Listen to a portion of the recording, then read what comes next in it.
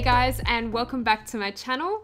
Today I'm going to be doing a video where I go back and edit a photo that I took in 2011 and I did take a bit of a trip down memory lane with this one because this is the first time I've even accessed my hard drive from this time in my life in years and years. I can't even remember the last time that I would have seen any photos on this drive so uh, it's been a while because previous videos I've mainly just kind of pulled from DeviantArt some of my older work. So to go through some of my older work was very interesting. I think sometimes it's really hard to tell if you've improved and when you're improving sometimes with photography and sometimes it feels like you just you're not improving at all.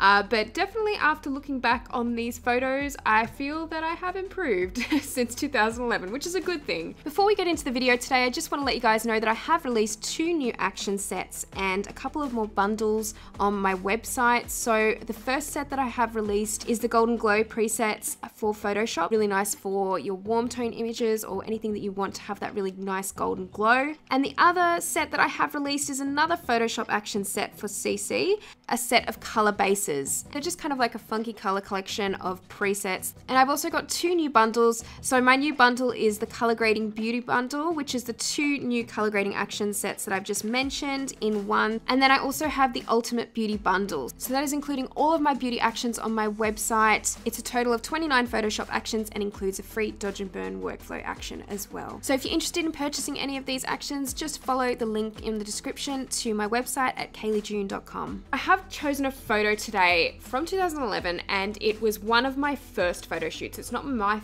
first photo shoot with a model, but it's definitely one of the first, I would say, five photo shoots I ever did with a model and a makeup artist. So you guys can take a little look into the kind of photography that I used to do. Obviously, it's very different now. I don't really uh, do a lot of location stuff, but that was all I did when I was first starting out and then the years um, after that. So I'm gonna get straight into looking through the shoot first because I really want you guys to see some of the work that I produced back then. Uh, I'm not gonna say I'm totally proud of it, by the way. There's definitely images there that I'm kind of like, what was I, what was I doing? So I wanna go through this particular photo shoot because I feel like there was just like no no set theme whatsoever. Uh, the model Oshina, I actually used to work with a lot when I was just starting out, and she was just starting out as a model as well. So we were kind of felt like we were kind of on the same level at the time. So it's definitely a bit of uh, it's an interesting photo shoot. Let me put it that way. I mean, looking through these images at the moment, I'm I just there's no there's no theme, there's no rhyme or reason to the styling, especially the styling. Like back then, I just really had no idea. So looking through, I mean there's a lot of, I did notice that there's a lot of blurry images. I really didn't have any idea about focus points or anything like that back then. I just kind of snapped away. This was kind of before I was in uh, college and really learnt the basic manual functions of my camera. I did kind of know the basics when I was doing this kind of work, but like, yeah, I really just didn't know what I was doing lighting wise as well. You can see in the photos um, that I'll show you, the, the lighting's not great. Um, take this one for example. I actually used to shoot a lot in midday uh, back then. As you can probably see from these images, they are very, oh, there's a very blurry one, another really, really blurry one. They're just not lit very well. I mean, I didn't really understand the whole, you know, look at the shadows in that photo. It's it's all part and parcel, I guess, of learning how light looks in an image and how how it falls on someone's face as well. I just really didn't have much clue about that back then. Also, you'll notice that a lot of my images are very, very underexposed. Um, I really liked to do that for some reason. I don't really know why. Uh, but there's definitely, I mean, we've got a clock in this photo. So I don't really know what the theme was. I think if I can sort of guess as to what I was kind of thinking along the lines of back then, because I was very much into deviant art back then and kind of creative conceptual stuff, I might have been wanting to do a bit more of an Alice in Wonderland kind of theme, although the clothing doesn't really suggest that, so, you know, I'm not really sure what a lot of these photos are kind of meant to be. I don't even, I don't Okay, so I'm gonna go further down and show you, because like there's a lot of different photos that I took in this. I think I was just really experimenting a lot this day. And you know what? I would encourage everyone to do that kind of experimentation. These photos, obviously, I don't feel much of an Alice in Wonderland vibe from them at all. So this is kind of what I mean with sticking uh, with a theme for the shoot because there really was no set theme. Um, Once again, a lot of blurry, blurry images and a lot of terribly lit images too. Just really good example there of that. Um, let's go further down. Yeah, look, I mean, I mean, I would almost say that some of these images are like kind of interesting, but I do feel like the blurriness of them and uh, the way that they're lit probably really kind of takes away from the conceptual aspect.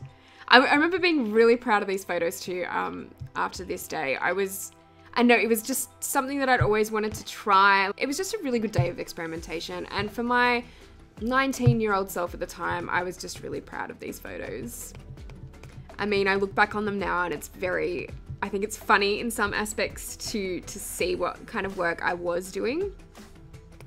Um, but, you know, we all have to learn, we all have to grow, we all have to start somewhere. And this is basically where I started. So, I mean, there's a few, I mean, great photo. Um, I did also shoot, you're probably noticing that I shot a lot. Like, I would just not stop. I would never stop. It was just continuously shooting. I'd end up with usually over a thousand images from the day um, every time I did photo shoots. Like I would just shoot nonstop, and I remember it being just so painful to go through the images afterwards because there would just be so many for me to go through and and to choose. Like I would end up editing like 50 photos at a time to send off, and man, that was just like a lot of effort back then. But anyway, I'm gonna go straight down to the images that we're actually gonna be looking at today in terms of the ones that I'll be editing because this is kind of like in terms of like more of a timeless image that could still be current today, I feel like this was probably one of the best from the shoot. Uh, because I realized from a lot of the other shoots in 2011 that I did, I deleted the, the original images, so I really couldn't go back and edit them. Uh, that was something that I like to do to save space on my hard drive rather than just getting another hard drive. So I don't have a lot of original images left from uh, that time when I was shooting. Uh, but I do have some from this photo shoot. So we are going to pick an image here and the one that I have actually chosen already is going to be this one here. And like I said, it's purely because it's kind of more of a timeless shot. It could have been taken today, I guess. I thought it was still kind of a cute image and it's just like, it's not a weird expression. It's not weird. Well, I mean, it's a little bit weird lighting, but it's very underexposed once again. I'm not really sure why. But yeah, we're gonna go ahead and edit this photo today and I'll show you the edit that I actually did at the time.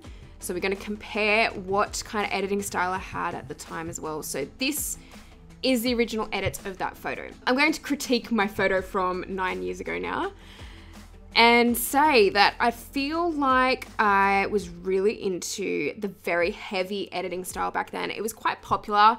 Um, I mean, photography, to be honest, as a thing back in 2011 wasn't really that popular overall. Uh, like they never even had it at my my school that I used to go to as like an elective subject. But as far as cool went, I guess this is kind of like the types of presets that were cool back then. It was very heavy editing, very retro um, kind of stuff that was on DeviantArt too, and uh, yeah, this is kind of my edit. I mean, it's not, I don't think it's the worst edit that I've probably ever done, but I do feel like her skin is looking a little bit sickly in the way that I've applied the yellow kind of toned effect. And I just feel like it's a bit too dark in areas. It's quite dim. I, it's just not really my style of image, I guess, for these days when I'm editing. So I'm going to edit the photo in the way that I guess I would edit it today. So we're going to go to the original image now, which is this one here.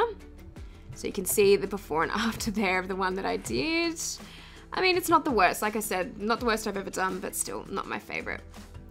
So we're going to get straight into editing. And for this, thank God, I don't actually have to do much skin editing uh, because it's a bit further away. The face is taking up less of the photo, so we're not going to be doing dodge and burn for this. So I'm sure there's a lot of people out there that are really happy about that. Okay, so I have my graphics tablet at the ready and I'm going to zoom in we are not going to do much skin editing, as I just said, although I do really want to remove this big light patch on her forehead because I don't know, it's just really bothering me for the from the time I saw this image, it's all I can kind of look at when I look at the photo. It just really bothers me that it's right on her forehead. It's very apparent and very much there. So we are going to try and get rid of that in a very easy manner, I would say.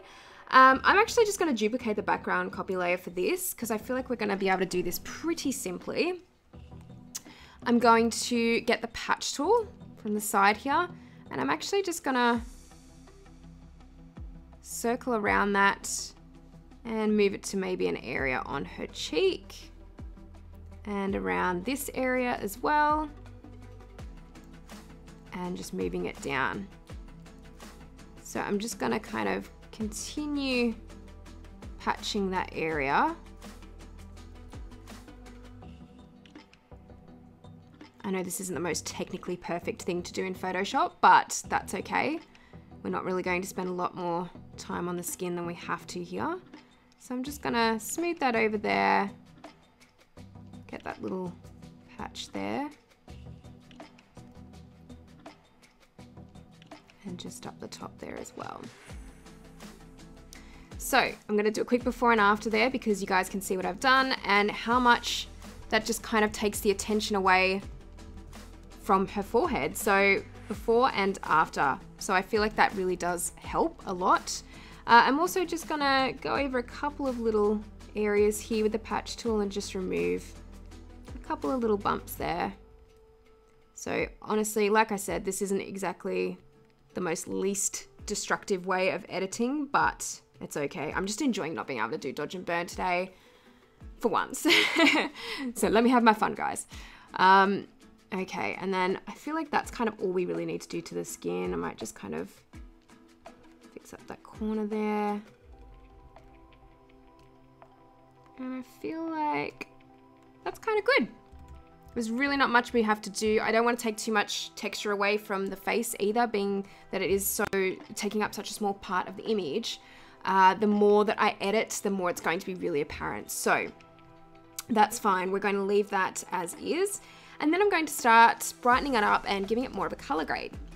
So I want to get the curves layer up first. I'm going to get a curves adjustment layer up and I'm going to make it quite a bit brighter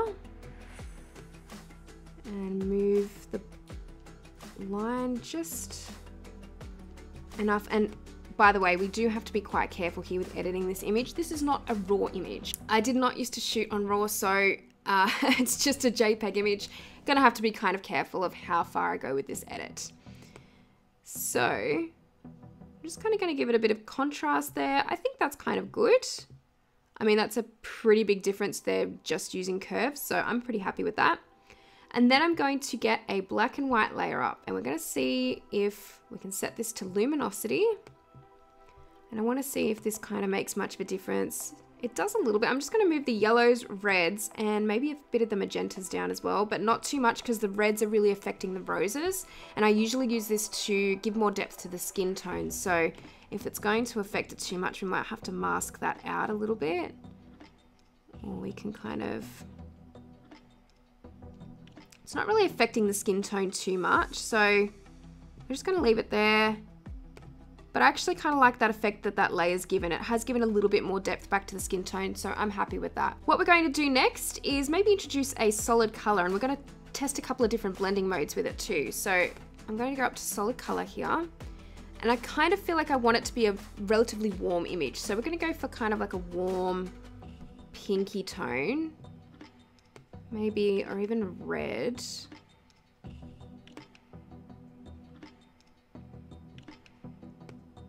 And kind of probably somewhere around that sort of color scheme. And I'm going to change the blending mode on this. So we want to see how some of these look. So soft light might be okay at a lower opacity. Some of these are going to look a bit strange, but I'm feeling like as well, color dodge might be the way to go. But what we're going to do with that is click on color dodge and then really bring it back with the opacity. So we're going to kind of move it down to around say 30%. I'm just going to turn that on and off. And I'm really liking how that's looking, but I feel like it is a little bit too bright still. So I'm going to double click on the color itself and just kind of like move around in the same reds kind of section, but make it a little bit of a deeper red. So I actually really like how that looks. So I'm more than happy with leaving that how it is. I'm also going to create a luminosity mask with levels as I usually do with my editing. So I'm going to go into the channels, hold down control on the keyboard and click on RGB. And that's going to give me a selection of the highlights of the image. And this is the way that I like to kind of brighten up uh, those parts a little bit more and create a little bit more contrast that way. So now that we've got our selection, I will go down to the adjustment layers and go up to levels and it will automatically give me a mask with that selection. So I'm going to just pull the shadows across a little bit and highlights I'm not gonna tweak too much just slightly at the edge there. So you guys can see what that layer has done. It's just given it a little bit more depth. And I think as maybe kind of a finishing touch. I'm just going to get another black and white layer. And I like this method of just desaturating the image a little bit. I'm just going to bring down the opacity though to around say like 8% looks pretty good. It just really kind of dulls it a little bit more and, and gives it that little bit more of a vintage effect. Speaking of vintage, I really feel the need to put a grain on this and I don't get to put grain on images very often with beauty stuff. So, so I'm gonna put some grain on there today. So I think one thing I'm gonna do first though is sharpen the image. So I'm going to drag the background layer into the new layer button, go to filter, other, high pass, and I'm going to move the radius down to about 4 and then I'm going to change the blending mode to overlay and move the opacity down a little bit to say maybe about 60% for this image by the looks of it. So that's just kind of sharpened the image up. I'll zoom in so you guys can see that. It's really just sharpened the edges a little bit, given it a little bit more definition which is exactly what we wanted. And then as a finishing touch, I think I'm gonna add a grain. So I'm going to duplicate the background copy layer again. I'm gonna go to filter, noise, add noise. And I'm happy to have it quite high at around 17%, that's fine. Press okay. Then I'm gonna go to filter, blur, and Gaussian blur. And two pixels is fine for this. I'm just basically softening the noise a little bit because I always tend to find without doing the blur over the noise, it does tend to make it a little bit too sharp for my liking and I just prefer doing it this way. So we'll leave it at two pixels and press OK. And then I can kind of tweak my opacity. So I'll zoom in a little bit so we can see it's a little bit too crunchy for my liking. But I'm gonna just move the grain down a little bit. Just so we've got kind of like a nice soft grain. And there is my finished image. So I'm going to take a snapshot and I'm going to show you guys the before and after. So this is the before and that is the after. And I'm also going to do a comparison of my previous edit as well from 2011 at the end of this video so you guys can see the difference between all three. So I'm actually really happy with this edit overall. I think it's a very quick edit for me. I'm not used to doing edits this quickly. I forgot what it was like when I was editing uh, some of my location shots. It was definitely a quicker process through editing in Photoshop. But I kind of like how this turned out and I'm sort of happy with it at the moment. Uh, I hope you guys enjoyed looking back through some of my older work and I, if you would like me to do more videos like this one, please let me know in the comments section below. I would like to do more videos where I go back and re-edit some of my older photos and show you guys what I sort of did back then. I think it's kind of interesting to always look back on your older work and see how you've grown. So thank you guys so much for watching and if you like this video please give it a thumbs up and if you haven't subscribed to my channel already please do and I will see you in the next video. Bye!